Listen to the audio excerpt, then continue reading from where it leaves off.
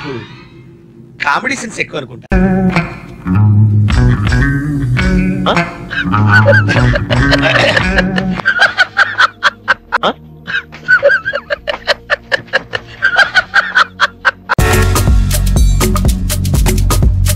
పోయి అమ్మ పడవ. ఓరే అమ్మ నాయనా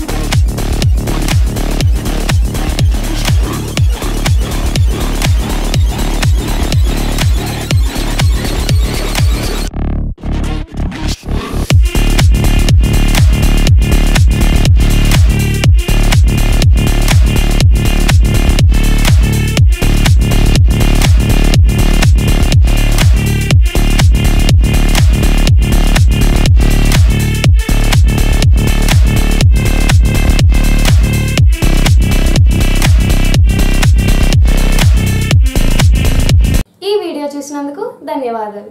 ఈ వీడియో మీకు నచ్చినట్టయితే లైక్ చేయండి షేర్ చేయండి. మరిన్ని అప్డేట్స్ కోసం సబ్స్క్రైబ్ చేయండి.